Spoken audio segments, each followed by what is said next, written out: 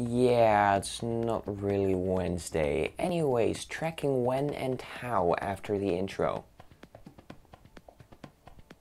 So, tracking can be very useful when compositing. Now, you've seen it in my logo removal tutorial and quite some others as well.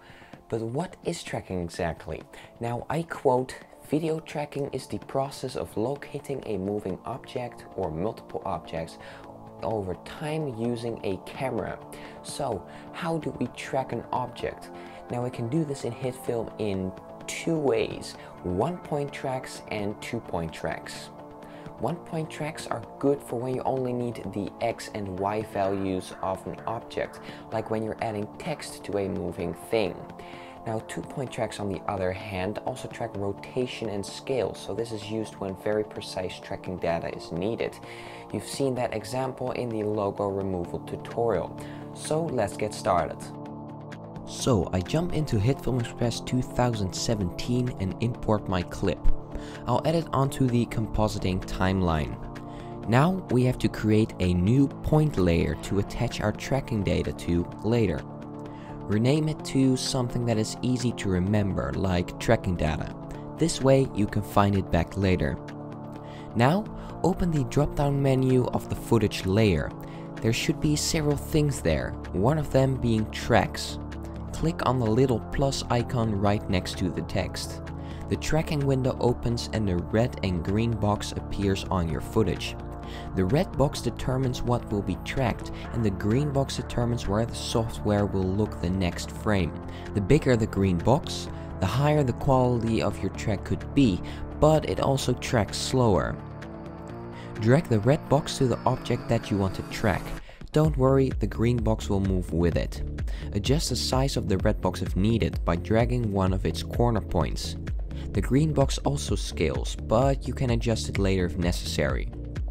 Now, we'll take a look at the tracking screen. Seems overwhelming, doesn't it? Well, don't worry, it's not hard at all. Here's what all the buttons and drop-downs do. In the type dropdown, you can select if you want a 1 point or 2 point track. Now we'll choose 1 point. The method determines how HitFilm tracks. For almost everything you can leave it on optical flow. You can leave the options as they are, but if you want, you can take a look and tweak some settings of course. Now we come to these arrows. These are the functions from left to right. Track one frame backwards, track backwards, track forwards, and track one frame forwards. Track one frame forwards and backwards is if you want to be really precise or when HitFilm has a hard time tracking. Track forwards is if you want to track while the playhead is moving forwards, with backwards tracking, the playhead moves back in time. This is when you want to track a clip from the end point to the beginning. So now you know what the interface means. We'll stick to the usual track forwards here. With the box in place, it tracks forwards pretty nicely. This may take a while depending on your clip. When HitFilm is done, we have to apply the tracking data to a point layer so that we can use it. Go to step 2 of the tracking window. Leave the purpose as it is. If you want to stabilize your footage, check out episode 29 of Film Empire. In the layer dropdown, choose the point layer we made in the beginning. For a one point track, you can only choose the X and or Y movement as it doesn't know what the rotation or scale is. Click apply and we're done. You've successfully tracked your footage. And next, two point tracks. Two point tracks are used if you need the scale and or rotation of your object besides the X or Y movement. To do a two point track, make a new track as we did before, but in the type dropdown, choose two point track. Now, find two points that are visible throughout your video and add the red and green boxes to those points.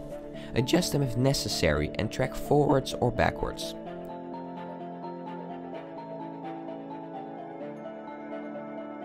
When HitFilm is done, we have to add it to our point layer again. Leave the purpose and choose the right point. We can now add the rotation and scale to the point layer besides the X and Y movement. I'll select all options and click apply. As you can see now, we have a perfectly tracked point. Thanks to Papa for suggesting this video. Now, if you have other video suggestions, leave them in the comment section below. I'd love to read them. Don't forget to like and subscribe if you haven't already, and I'll see you in the next video. Hey, I hope you liked that video. Now click the top box to see my newest video and click the box below to see a highlighted one. Click my profile picture to subscribe if you haven't already, and I hope you have a great day.